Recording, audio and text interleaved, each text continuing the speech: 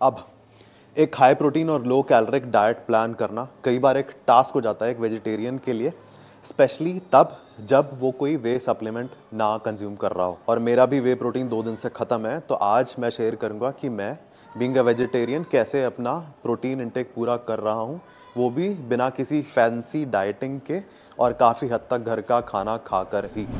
अब, पहली meal will be very simple very basic oats और दूध। परफेक्ट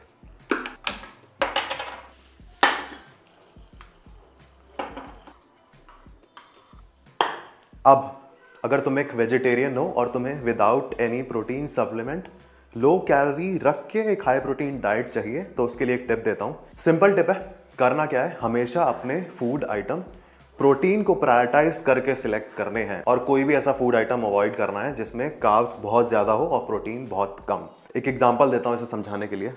इस मील में मैंने बनाना नहीं डाला। क्यों? बताता हूँ। अब मान लो इस मील में मुझे 100 कैलोरीज बढ़ानी है। दो ऑप्शन लेके चलते हैं। एक मीडियम बनाना अराउंड 90 कैलोरीज या फिर 200 सौ double tone milk same 90 calories. अब इन दोनों में फ़र्क क्या है? जो 90 कैलोरीज हमें बनाना से मिलेगी, उसमें सिर्फ़ एक ग्राम प्रोटीन होगा। और जो 90 कैलोरीज हमें दूध से मिलेगी, उसमें हमें to be exact 6.4 gram protein मिलेगा। तो सिंपल टिप है, हर मील को प्रिपेयर करते time high protein food items उठा लो, क्योंकि carbohydrate as a side product तुम्हें मिल ही जाएगा हर मील में। तो इसीलिए इस मील में नो बनाना। दूध में ओट्स बनाने का ना ये फ़ायदा है। ऑल दो ये डबल टोन दूध है बट ये देखो बहुत क्रीमी बना है।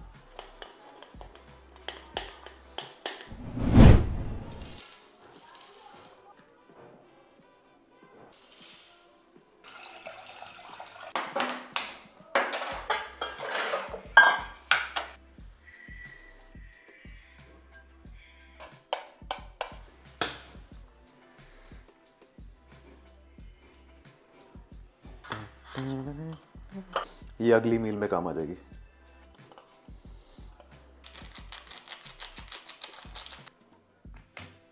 अब प्री वर्कआउट मील दोबारा से बहुत सिंपल बहुत बेसिक प्रोटीन काउंट करते हैं। इसमें एक ग्राम, दो रोटी छः ग्राम टोटल हुआ सात ग्राम। तो इसमें है पच्चीस ग्राम सोया तो उसमें हुआ थर्टीन ग्राम प्रोटीन 200 ग्राम दही, उसमें हुआ आठ ग्राम तो इसमें हुआ टोटल 21 ग्राम। 21 प्लस सात, अट्ठाईस। बढ़िया।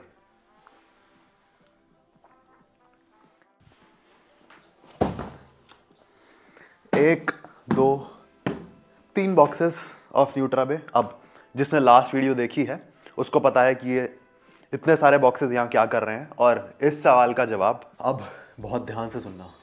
तो आज की लेग डे हाईलाइट जो थी, वो कौन सी एक्सरसाइज थी? और उसके टॉप सेट पे मैंने कितने रेप्स लगाए। इस सवाल का जवाब मैं नेक्स्ट वीडियो में दूँगा और अभी के लिए I stick to the plan और इनको नहीं खोलूँगा। अब बींग अ वेजिटेरियन प्रोटीन कैसे हाई रखना है विदाउट अ सप्लीमेंट वो तो मैंने तुम्हें बता मतलब इस वीडियो में तुम देख ही लोगे। पर क्रिएटीन एक ऐसी चीज़ है जो वेजिटेरियन डाइट से पूरी हो ही नहीं सकती। और वैसे भी creatine is the cheapest and the most effective supplement for body building तो क्यों नहीं? अब लास्ट इंस्टाग्राम पोस्ट पे कमेंट आया कि न्यूट्राबे का क्रिएटीन कड़वा है।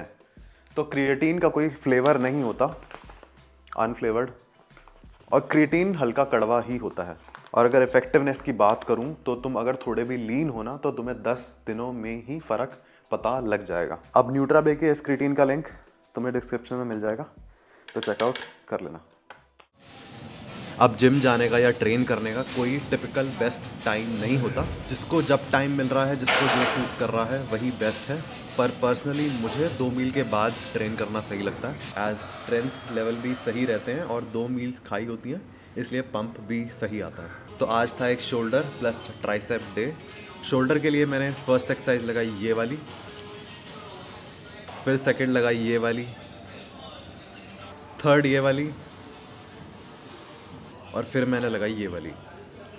अब मैंने ट्राइसेप वाला पार्ट रिकॉर्ड नहीं किया, क्योंकि वीडियो का मेन फोकस आज डाइट पे था प्लस ट्रेनिंग के टाइम पे जब मैं रिकॉर्ड करता हूँ तो समवट वर्कआउट कॉम्प्रोमाइज़ होता ही है।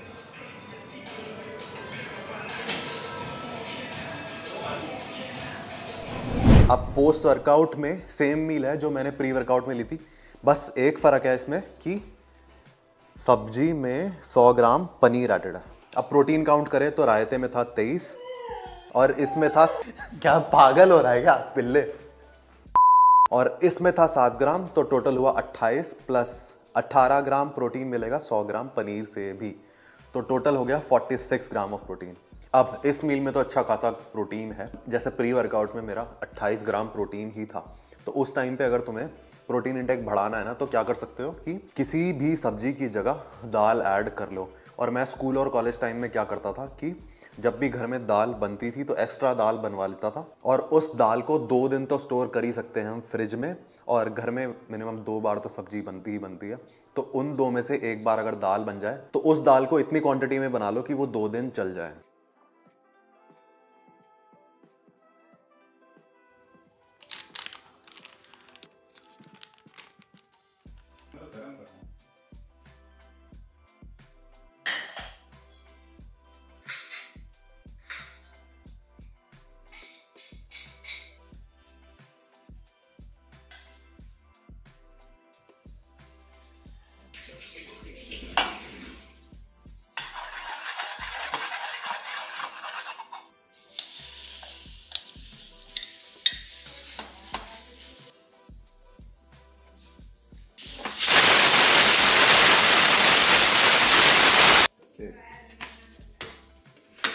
परफेक्शन